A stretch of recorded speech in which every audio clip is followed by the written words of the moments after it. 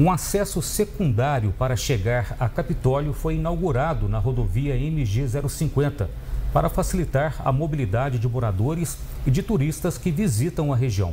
Ao todo, foram investidos 9 milhões e 300 mil reais para a construção de uma nova rotatória alongada a inauguração contou com a presença do governador Romeu Zema. Bem, a Secretaria de Estado de Infraestrutura, Mobilidade e Parcerias de Minas Gerais e o Departamento de Estradas de Rodagem de Minas Gerais, o DR, informaram que a obra faz parte do contrato de concessão com a empresa AB Nascentes. Abre aspas. Essa obra vai ser muito importante para a mobilidade e segurança dos mineiros e dos turistas, além de alavancar a economia da cidade disse o governador de Minas Gerais, Romeu Zema.